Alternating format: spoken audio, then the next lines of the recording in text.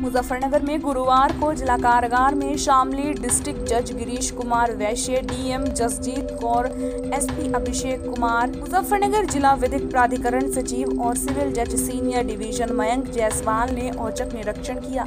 इस दौरान जेल अधीक्षक सीताराम शर्मा अधिकारियों की अगुवाई करते नज़र आए और जेल अधीक्षक सीताराम शर्मा ने सभी को जेल का निरीक्षण कराया।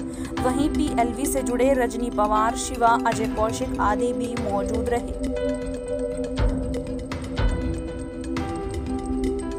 जेल अधीक्षक सीताराम शर्मा की जिला न्यायाधीश गिरीश कुमार वैश्य और डीएम शामली जसजीत कौर समेत एसपी अभिषेक कुमार शामली ने एक साल के अंदर जिला कारागार की कायापलट करने पर जमकर तारीफ़ की और उनके सराहनीय कार्य को जमकर सराहा। उन्होंने कहा कि जेल में बदलाव से महिला और पुरुष बंधुओं में आत्मविश्वास जागरूक हुआ है। वे लोग बाहर आने के बाद सेल्फ डिपेंड हो जाएँगे और समाज में अपनी भागीदारी सुनिश्चित करेंगे। ये क्वार्टरली इंस्पेक्शन था, जिसमें मनी जनपद न्यायाधीश महोदय, जिलाधिकारी महोदय और एसपी महोदय का था। इसके इंस्पेक्शन के दौरान उन्होंने विभिन्न बंदियों से बात की, उनकी समस्याओं के संबंध में, जो भी समस्या होती है उस संबंध में बात करते हैं।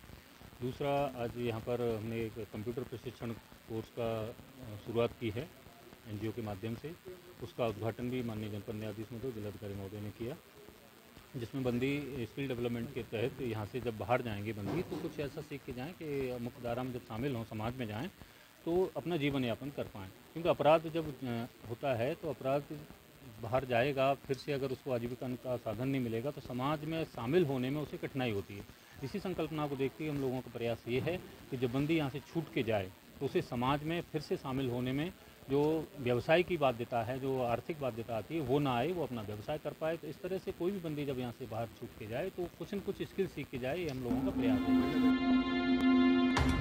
वहीं जेल अधीक्षक सीताराम शर्मा ने कहा कि जल्द ही जिला कारागार के अंदर और भी नए कार्य एवं बदलाव देखने को मिलेंगे। इसके लिए लगातार प्रयास किए जा रहे हैं। हर स्तर पर कार्य किया जा रहा है।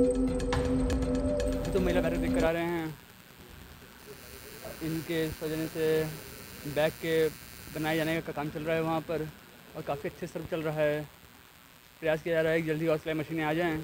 जिससे इसका वृहद रूप से कार्यक्रम किया जाए इसका।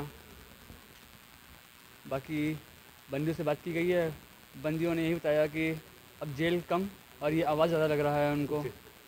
एजुकेशन के हिसाब से सुधार भी सब देख रहे हैं बहुत सुधार है। अभी क्रेच बनाया गया है बच्चों के लिए यहाँ पर और बहुत अच्छी व्यवस्था क्रेच में भी की गई है। सर मोटिवेट करने के लिए और क्या है जिससे कि जो महिला बंदी है दोबारा से कुछ ऐसे उसमें ना जाए जिससे क्राइम बढ़े या परिवार हो जाए? यहाँ पर जो हमारे जजमेंट साहब हैं इन्होंने अभी शुरू किया है कि रोज़ सुबह यहाँ पे चलता है गायत्री मंत्र। उस और जितना हो सके लोगों को अच्छी शिक्षा दी जा रही है? आ, शामली के भी कैदी हमारे यहाँ पे मुजफ्फरनगर जेल में आते हैं। डिस्ट्रिक्ट जज साहब के साथ एसपी साहब के साथ सीजीएम मैडम के साथ हम लोगों ने यहाँ इंस्पेक्शन किया है। हमारे जो बैरक्स हैं वो देखे हैं महिलाओं के हमारे जो युवा हैं उनके और जो हमारे यहाँ पे सज़ा भुगत रहे हैं उनकी जो समस्याएँ हैं वो भी ज़िला जज साहब ने नोट करी हैं। कहीं पे उनको पैरोकार नहीं मिल रहा है या डेट नहीं लग रही हैं तो हम लोग कोशिश करेंगे कि उनका जो है समस्याओं का समाधान कर मैम जो शामली के एक बंदी यहाँ मुजफ्फरनगर जेल में है तो क्या कोई विशेष इनके लिए रख रखाव या कोई किसी तरीके हम लोगों ने इंस्ट्रक्शंस दी हैं, हालाँकि कैदी चाहे शामली के हों या मुजफ्फरनगर के हों, उनके लिए अच्छी फैसिलिटीज़ यहाँ पे होनी चाहिए हैं। खाना पीना अच्छा हाइजीनिक हो, और बच्चों के रिक्रिएशन के लिए एक छोटा क्रैच भी इन्होंने बनाया है लाइब्रेरी बनाई है, ताकि बंदियों का जो है टाइम यूटिलाइजेशन हो।